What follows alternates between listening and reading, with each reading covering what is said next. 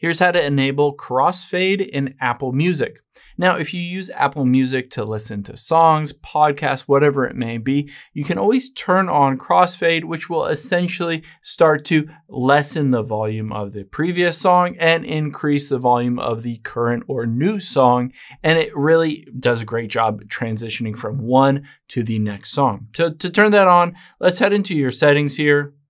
And then we'll just scroll down and find music. There's Apple Music. Let's tap on it.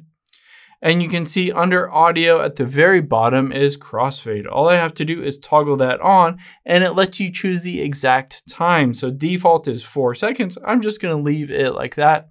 And then if you open up the music app, it will crossfade from one song to the other. Now, if you don't see crossfade on here, the reason is because this is a new feature.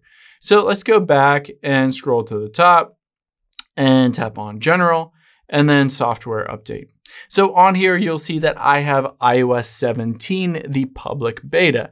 Now, if you're watching this video and you don't have iOS 17, just go into your software update and update to iOS 17 because it fairly is a fairly new feature that is only included in iOS 17.